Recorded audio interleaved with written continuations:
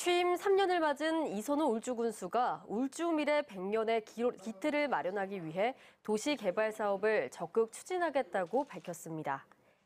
이 군수는 오늘 기자간담회에서 KTX 역세권 복합 특화단지 개발과 도심 융합특구 유치, 농수산물 도매시장 이전 예정지 복합 개발, 거점형 공공 타운하우스 조성, 선바위 지구 내 의과대학병원 유치 등을 진행할 것이라고 설명했습니다. 이 군수는 또 3년간 군정 성과로 코로나19 극복을 위한 선제적 대응과 군민 지원금 지급을 꼽았습니다.